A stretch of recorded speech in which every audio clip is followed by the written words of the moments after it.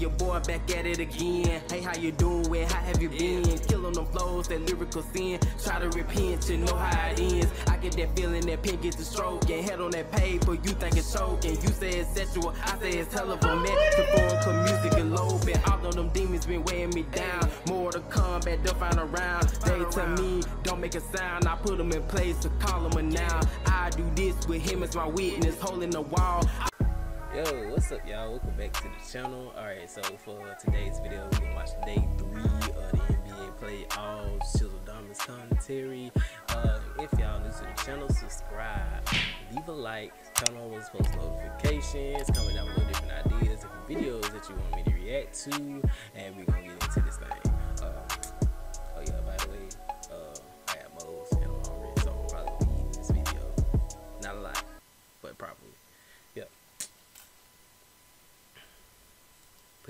Full screen, and here we go. Ladies and gentlemen, welcome back to Hold My Nugget Studios once again for day three live from the bubble in Orlando, Florida in your 2020 NBA playoffs ah. game highlight commentary. we start things off with the reigning defending undisputed champion Toronto Baby Dinosaurs taking on the Brooklyn We Go Hard, but we about to get swept next.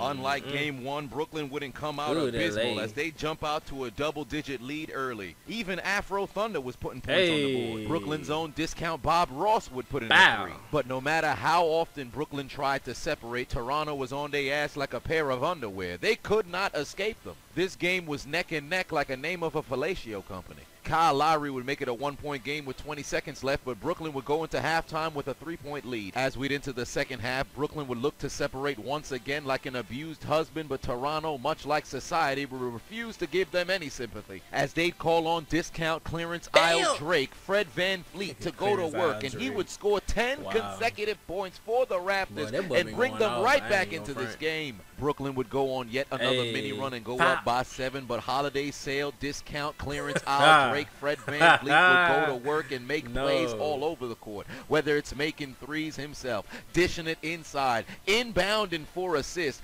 this brother was making sure that Toronto was not out of this game. Brooklyn tried their best not to relinquish the lead, but much like Thanos would say, it's inevitable. And once Toronto took the lead, they went on an 8-0 run, made Brooklyn look like they forgot how to play basketball. Once again, late in the fourth quarter, Brooklyn would have to grab their favorite condiment and try to play catch up as they cut their deficit to three. But once again, Toronto would go up by eight. Brooklyn would connect on a three-point shot and make it a Hey, six-point game with a minute left to play. Holiday Uh-uh. sale, everything must go. Discount pull up. clearance. Al Drake Oh, with an opportunity to thought it was ice the game. Uh, Brooklyn must have taken two pills of Viagra because they refused to go down easily. 15 seconds remain. Woo, woo, clitoris alert, clitoris alert, alert. woo, woo, clitoris alert, clitoris alert, woo, woo, woo. Joe Harris tries to get the ball to Garrett Temple, but he's got butter fingers. He can't No. recover the basketball. It's stolen No. by Powell, and the dunk's going to put the game away. I cannot believe it. wow. Game over, man. That's insane. Toronto goes up 2-0. Next up, the Utah Jazz look to even up the series against the Denver Nuggets. Joe Ingles looks like the janitors that fair weather fans claim played in the NBA from the 1970s and backwards. And if you must know, Donovan Mitchell is still cooking the Nuggets. But just in case you didn't forget, Jokic got the international baskets. If somebody don't guard this receding hairline, man, he's no Heath Ledger or Joaquin Phoenix, but this joke is pretty good. Did I mention things are extremely easy for Donovan Mitchell? Homie just walked to the paint. Jokic's Yeah. jump shot got more arch than an escort Yo. harlot at 4 a.m. Why would so they let Jordan Clarkson shoot? Oh shit, he made it. But Denver would showcase their depth because MJP would put in a three, Jamal Murray would walk his way to the paint, and Paul Millsap would bully his way to a basket. But their lead wouldn't last for long because Jordan Clarkson would tie up the game, and then Donovan Mitchell on a lob would give them the lead. Hey. Rudy Gobert moved slower than the brains of children on a short bus. And can somebody tell me who turned up Jordan Clarkson's attributes on the 30 seconds left to go in the first half? Following the 24 second shot clock violation, Shit. Rudy Gobert would get a putback and put the Jazz up 13 going into halftime. And they'd pick up right where they left off. However, this time Utah would activate their ace in the hole as Donovan Bang. Mitchell would start to get going. He only scored nine points in Bang. the first half, but everything that he touched in the third quarter would turn into gold. Much like determined Bang. seaman considered the Denver Nuggets a popped condom because he could not be detained at all. Look at the magnificent Bro. 360 pass. Then look at the That vision. Skip no Bayless passes across the entire damn court for the assist. Can somebody tell me why Jordan Clarkson is still allowed to score? Donovan Mitchell absolutely erupted for 21 points in the third quarter alone. Could not be stopped, and it didn't matter that Jamal Murray scored 10 in the third. Two years ago, when we saw Jordan Clarkson in the postseason, all he did was choke, but these past two games, homie been on fire. Utah Hey. dominated the second half, and they led by Bang. as much as 31 points as they'd walk away with a 19-point victory Late. over the Denver Nuggets and even up the series That's at one one on the apiece. Hey. Game three of the afternoon, the Boston Shillelagh Leprechauns take on the Philadelphia 25 times 3 multiplied by 0 plus 76ers. Philly would come out of the gate in the first quarter strong. Joel Bang. Embiid with an and one, then Josh Richardson would put in a three. Well, Can't Philly forget is about our sad. favorite slave name. Tobias. And Philly would maintain a double-digit lead damn near the entire first quarter. Joel Embiid Bang. was firing on all cylinders, but then back the other way, Jayson Tatum decided it's time to take over. Everybody talk about logo. Tatum. Lillard. What about logo?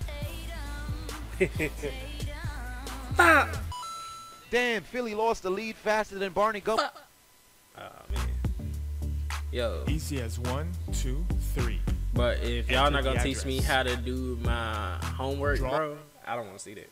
Gumble fails a sobriety test, but Embiid wouldn't quit just yet. Look at the footwork inside. Delay, However, though. did it matter? Nope. Absolutely not. Kemba Walker would And begin to catch fire in the second Boy. quarter, let his nuts hang Uh. and rub his nutsack all over the goddamn Philadelphia 76ers. As we'd enter the second half, it appears that Philly forgot how to play basketball. Somebody unplugged their controller or they completely lost their Wi-Fi connection because Boston was scoring left and right on damn near every single possession. You could have dug up Wilt Chamberlain, rolled his casket onto the court, and he could have scored 20 points on this Philly defense. Bill Yes, Russell sir. not even dead, and he could walk on the court and give you 15 and 20. Probably. They came out in the second half and got cooked like a goddamn cheesesteak. And in the Mhm. fourth quarter, Jayson Tatum would make sure that Philly's participating in the Jeffrey Dahmer, Ted Bundy Bang. necrophilia challenge because they may be dead, but he made sure they was still getting fucked as they would go down as much as 28 Jesus. goddamn points. It Ooh, got so bad to the point that. Brad Stevens said, fuck it, let's put Taco in the game. And Taco went to work and got a basket. Take the L out of Lover. It's over, brother. If Philly continues to play like this, you might as well call Consuela because it's fixing to be a sweep. Last but not least, the Dallas Mavericks look to even up the series against the Los Angeles Clippers. That's for ejecting me, pussy. Luka really makes the NBA look like they ain't shit. He just effortlessly gets baskets. It doesn't make sense Hey. on everybody. Hey, Here comes the reigning defending finals MVP. uh, He can shoot threes as well. What does Teddiursa evolve into? Ursa But the Clippers would take a trip to Magic City because Lou Williams is still getting buckets. The Clippers out here looking like the New England Patriots in the Super Bowl because they can't stop the Giants.